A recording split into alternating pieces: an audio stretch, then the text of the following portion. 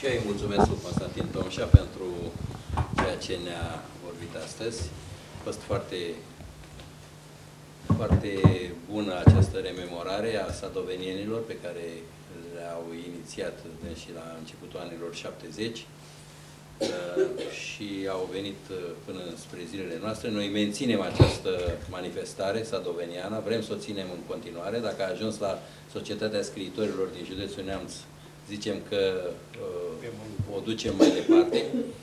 Vom găsi pentru anul viitor uh, probabil o discuție pe care o vom avea cu noua direcțiune a complexului muzeal, poate în colaborare cu complexul muzeal, împreună cu muzeul de la Bovidenie. Vom face o manifestare mai complexă, mai interesantă, cu o sesiune de comunicări și cu ceea ce era pe vremuri sadoveniana, pentru că aici s-au perindat personalități mari ale uh, criticii literare românești.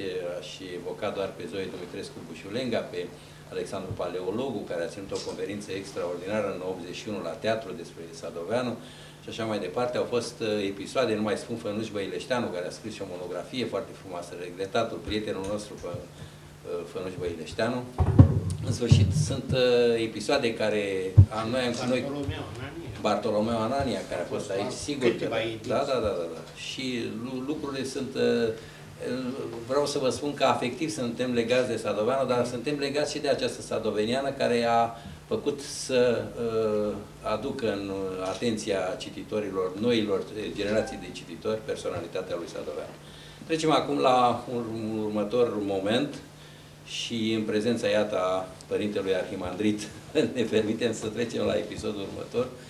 Ne dați binecuvântarea pentru că vrem să acordăm uh, premiul a doua ediție a premiului Mihail Sadoveanu uh, pentru proză, Uh, de data aceasta uh, este uh, o a doua ediție la care premiul este datorită proiectului pe care l-am avut, l-am anexat în cadrul proiectului Antiteze, acest premiu este și un premiu în material, dacă putem spune așa, nu este numai ideal cum am făcut anul trecut. Anul trecut am acordat acest premiu, prima ediție, lui eh, Florin Vasile Bratu pentru Drum închis, un roman foarte bun, o carte foarte bună, care a și fost reeditată de curând la Tipo Moldova la Iași și are un succes deosebit.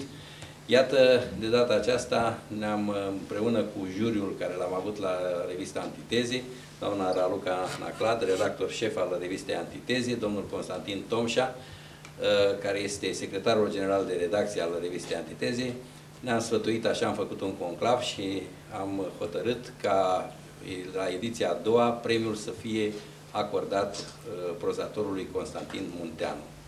Pentru romanul său, apărut anul trecut, Stăpânul Licuricilor, volumul 1 și 2. N-aș vrea să-i îmbănez acest premiu fără a face, fără a o ruga pe doamna Raluca Naclat să facă un scurt laudațiu pentru prozatorul pe care îl, îl distingem astăzi și oferim premiul uh, Mihail Sadoveanu. mulțumesc. Distins auditoriu, chiar dacă la noi instituția acum este mare fierbere pentru că se întâmplă cel mai amplu, cel mai mare eveniment cultural al orașului Piatra Neamț, Festivalul de Teatru, am spus că îmi rup fug pur și simplu de acolo, în semn de prețuire pentru această minunată sadoveniană, o manifestare care promovează valorile tradiționale de care avem nevoie în mod special astăzi, ca să se conteze valorile acestui postmodernism foarte tulburent, ca să putem să ne menținem echilibrul cel de toate zilele. Deci pentru acest eveniment, pentru oamenii uh, care au onorat în mod deosebit cu conferințele dumneavoastră acest eveniment și pentru domnul Constantin Munteanu. Uh, în semn de prețuire, pentru calitatea umană a domnului Constantin Munteanu și în egală măsură și pentru calitatea de prozator. Pentru că, vedeți, astăzi oamenii care stau cumva în spate și își văd de treaba lor, uh, sunt ca și când ar exista. Uh, se vorbește foarte puțin și ies în față uh, aceia care sunt foarte stridenți, uh, foarte vizuali și care de fapt sunt niște baloane de săpun. Ei, am venit astăzi aici ca să omagiez un om cu conținut cu conținut și spiritual uh, și estetic, să spunem, care știe uh, să, să pună valoare în, în opera sa. Uh, să spunem că domnul Constantin Monteanu a ajuns undeva la maturitatea operei. Numărul impresionant al romanelor sale, și n-am să îndrăznesc, e adevărat, m-am uitat, dar ca să nu omit, spuneți, domnule Munteanu, câte romane aveți până în prezent, fără reeditări, ca să spunem așa, ca să știe toată lumea. 19. 19. Uh, grupate în trilogii, uh, cu niște pagini uh, foarte numeroase, aproape că este descurajant pentru cei de vârsta mea, nebuniți de treburile zilnice, să se apuce de un roman al dumnealui, pentru că ne spunem că nu avem timp. Ei bine, cu literatura asta e o mare problemă. Literatura, de fapt, este poarta de ieșire din timp, din timpul ăsta care ne macină zi de zi. Cine reușește să se apuce de o carte, să, să înceapă să o citească, iese din acest timp care ne macină. Ehm, de fapt, atunci când nu mai este presiunea, așteptarea, noi ne putem pune în ordine ca oameni parcurgând o carte. Cartea, scrisul în special, deci nu vizualul, televizorul și alte forme. Cartea prin scrisul său înseamnă punerea în ordine a lucrurilor. Trebuie să parcurgem lucrurile secvențial. Aproape că este, um, se pornește de la material, de la secvența pe care o citim în mod uh, succesiv, așa ne ordonăm și noi gândurile și iată că avem o coerență interioară. Uh, cărțile domniei sale sunt pline de dialog. Oriunde ați deschide o pagină, sigur veți găsi un dialog. Asta înseamnă că aceste cărți trăiesc prin gândurile personajelor, prin vorbele personajelor, prin limbaj în mod special. Limbaj care de asemenea ne-a fost dăruit de divinitate ca să ne facă niște ființe coerente, ca să fim egali cu noi înșine. De foarte multe ori viața ne aruncă în derapaje, dar prin limbaj, prin ordonarea gândurilor, reușim să ne punem pe un uh, făgaș normal. Să spunem că multe dintre cărțile dumnealui sunt grupate în triade, în trilogii, iar trei este numărul perfect. De asemenea, am învățat cu toții la matematică că un plan nu poți să-l construiești decât din trei puncte. Da? Deci stabilitatea înseamnă trei.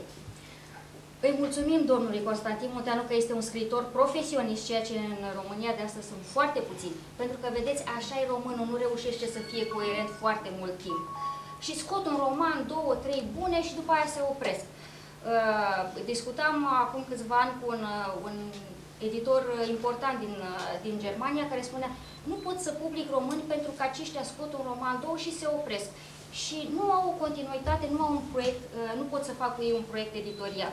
Ei, iată că domnul Constantin Munteanu este un scriitor de cursă lungă, uh, parcă în antiteză cu primul lui succes editorial Cursa Rapidă, așa, este un scriitor uh, de cursă, lungă, uh, de cursă lungă, care eu cred că s-a șlefuit datorită acestei munci extraordinare, asidue. Se vede că este un om care scrie zilnic.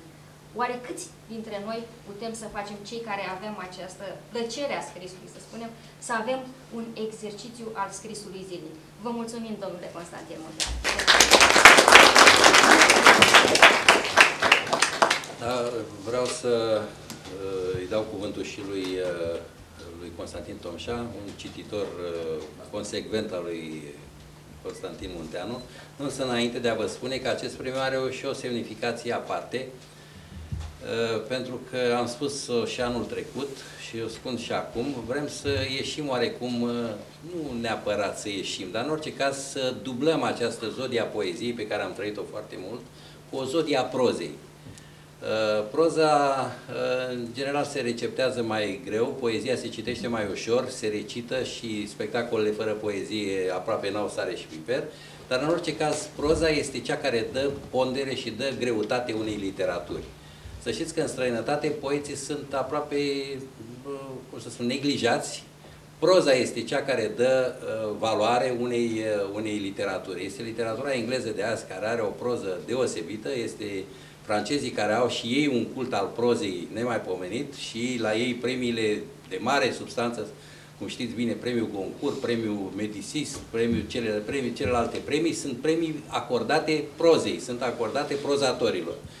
La noi, e sigur, sub zodia, sub uh, emblema aceasta mitologică a lui Eminescu, care Eminescu e marele nostru poet din, din totdeauna, dar să nu uităm Proza lui Eminescu a fost extraordinară, proza fantastică a lui Eminescu a deschis drumul unei alt fel de literaturi fantastice în toată în, în evoluția istoriei literare românești.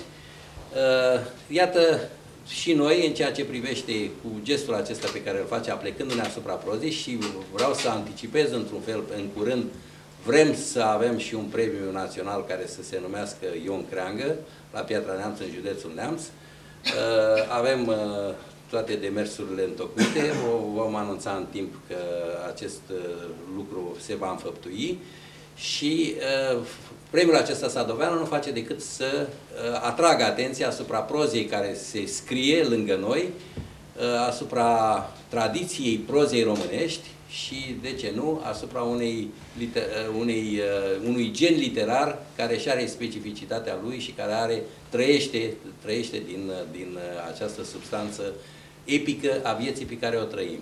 Îl rog pe Constantin, pe Constantin Tomșa să spună. Prelungim puțin momentul festiv. Nu vă speriați că nu vorbesc mult. Deși despre Constantin Munteanu aș putea să vorbesc până când se duce soare despre asfințit. Pentru că pe măsura prozii pe care o scrie. Vă spun că eu sunt cel care cunosc evoluția lui Constantin Munteanu de la prima sa carte, de la primul său roman, publicat în 1976. Iată, anul acesta s-au împlinit 40 de ani de la debutul în volum al scriitorului Constantin Munteanu cu romanul Zarul de Cretă. Și am fost martor la acea lansare eh, alături de Constantin Munteanu am mai spus-o și o repet, uh, romanele lui Constantin Munteanu, dacă vreți, acoperă întreaga noastră istorie, fără a greși deloc, istorie contemporană. Poate că nu întâmplător, înainte de a publica aceste două volume, Stăpânul Licuricilor, precedentele șapte volume, șapte am zis bine, un grup de patru și un grup de trei, așa, autorul și le-a subintitulat, rețineți, Comedia contemporană.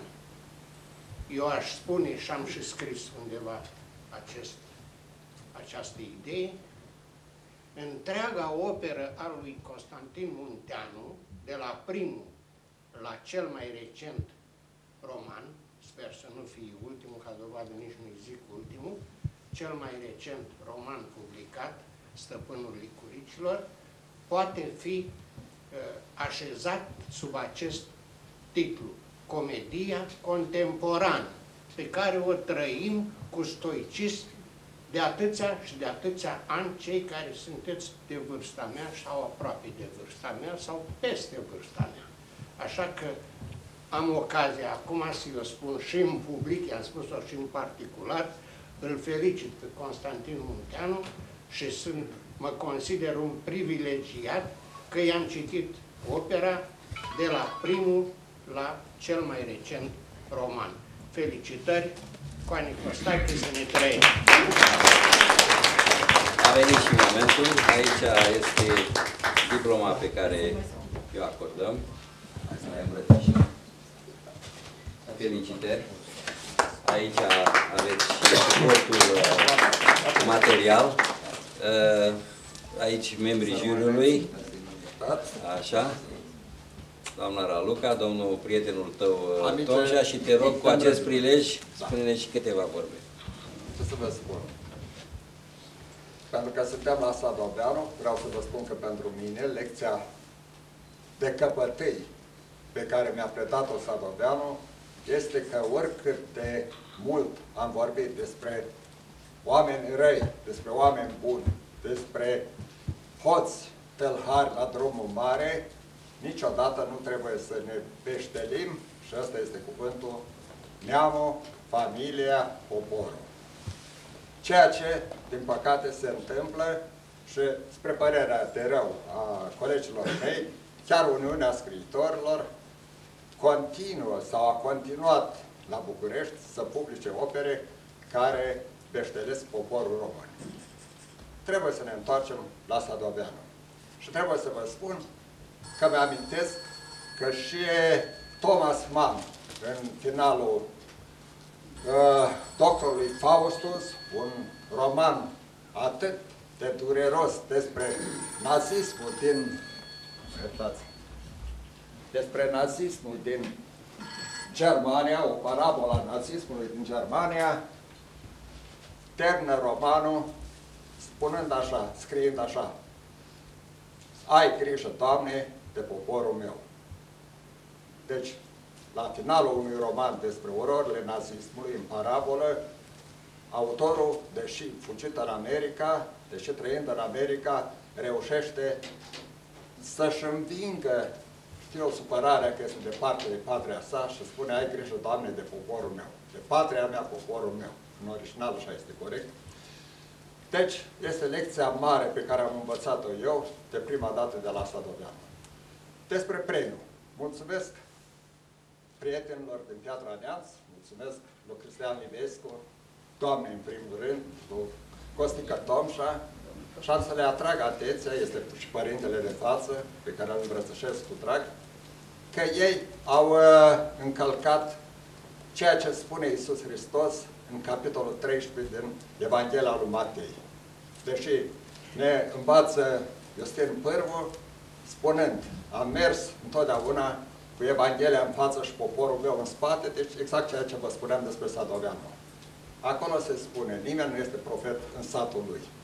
Eu mulțumesc că m-au declarat anul acesta profet în Piatra Neamț, deci lucrez de 40 de ani. Deci este un lucru mare pe care nu puteam să-l am decât la niște oameni de valoare ca cei trei care au jurizat. Le mulțumesc din suflet și vă invităm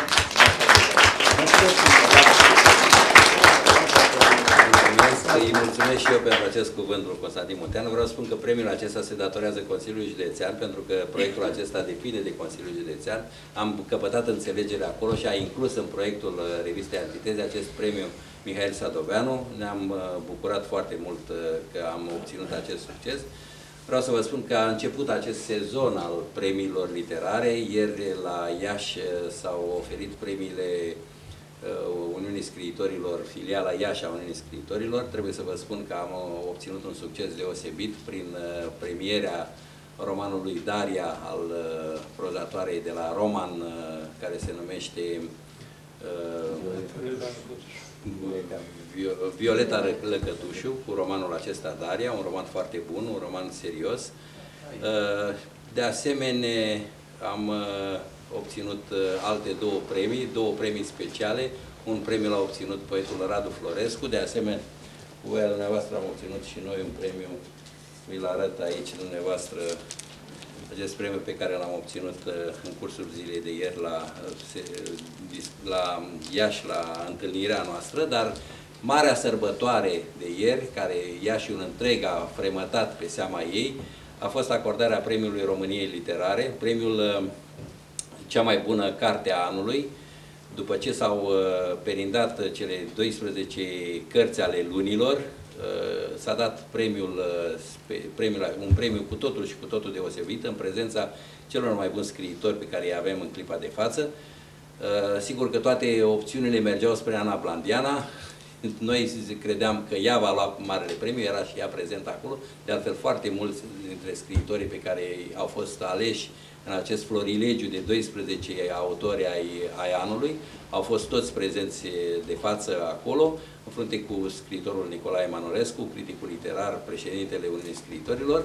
Premiul a revenit în mod surprinzător și zic eu și bine meritat, am discutat cu dânsul și bine meritat, lui Mircea Mihaieș, despre cartea aceasta foarte interesant, foarte importantă, Ulise. Apropo de proză și apropo de marile romane și marele cultul acesta pentru proză și pentru mari scriitori de proză, cum este acest uh, James Joyce, care are o tradiție extraordinară uh, în, uh, în Regatul Unit, ca să spun, din Irlanda, așa, dar mai ales și la noi, o traducere foarte bună a lui Mircea Ivănescu, dar în orice caz, exegeza aceasta pe care o face Mircea Mihaieș ne face să privim altfel nu numai un chip care este al lui Joyce, deschizător de drumuri în ceea ce privește proza proza mondială, proza literară de, din uh, spațiul european, dar să privim alți ochi și proza care se scrie lângă noi și, într-adevăr, asta vom căuta să și facem, să atragem atenția asupra prozei. Vreau să-i asigur pe Constantin Munteanu că nu este, uh, la dânsul, cred că este primul, în orice caz, primul premiu important pe care îl ia cu prilejul acesta, premiul Mihail Sadoveanu, care este, zicem noi, un premiu la care ținem, afectiv ținem foarte mult, vor urma, eu cred, și alte premii pentru dânsul, nu vreau să anticipez, uh, știu uh, ceva așa care așa, va mai lua încă un premiu în curând și vă vom invita, poate în aceeași formulă, să fiți de față la acordarea acelui uh, premiu. Deocamdată îl felicit sincer pe Constantin Munteanu, merita acest premiu cu prisosință, a, a lucrat foarte mult, a vorbit foarte frumos aici doamna Anaclat despre cartea aceasta și despre felul său de a, de a construi și de a scrie într-adevăr, dialogalul acesta care este foarte prezent în toate cărțile sale. Sunt cărți de întotdeauna înscenate într-un fel, pentru că dânsul a cochetat și foarte mult și cu teatrul. Sunt foarte multe pagini care sunt prazii demne de transpus în spectacol teatral, pentru că își gândește pe replică și pe, pe dezvoltarea unei, unor monologuri aceste romane. În orice caz, sunt romane interesante, romane care merită citite. Constantin Munteanu, cum bine știți înainte, pe urmele lui Marin Preda, poate, care spunea că publicistica înainte de Revoluție era foarte slabă. Mă refer la publicistica oficială, nu putea să spună orice. Atunci spuneau cărțile de proză. Cărțile de proză începeau să spună ceea ce nu putea fi spus în, în, în gazetărie, în, în ziaristică în pagina de ziar. Așa. Ei, ceea ce făcea Constantin Munteanu aici la Piatra Neamț era noi atrăgea atenția asupra unor elemente subtile din viața de fiecare zi, din viața socială pe care o trăiam noi aici, foarte ingenios spuse, la un moment dat chiar esopic spuse în paginile cărților, înțelegeam cu toții ceea ce citeam și îl felicitam, ai spus-o și pe aia sau ai, în orice caz ai insistat pe, acea, pe acel uh, lucru care numai noi îl știm. A, așa. Ei, după 90 uh, a dispărut acest esopism, nu mai avea realismul la, a intrat în, pe făgașul lui și Constantin Munteanu a, și-a început să-și caute domeniile acestea care merită uh, reconstruite într-un roman, domenii care, sunt, care pleacă de la, de la personajele noastre din imediat și ajung pe undeva, personaj, ajung pe la departe, epica sa trece prin Europa, ajunge prin nordul Europei, ajunge și prin Rusia și dincoace, în orice caz este o uh, epică foarte arborescentă și uh, cu cum să vă spun, de fiecare dată cu lucruri subtile spuse în pagina de text. Încă o dată vreau să-l felicit în numele dumneavoastră, să-l felicităm împreună că este pregătit pentru acest lucru. Vom bea un pahar de vin împreună. Vă rugăm să mai zăboviți câteva minute și să vă spunem că această sadoveniană se încheie cu, cu bucurie și cu succes.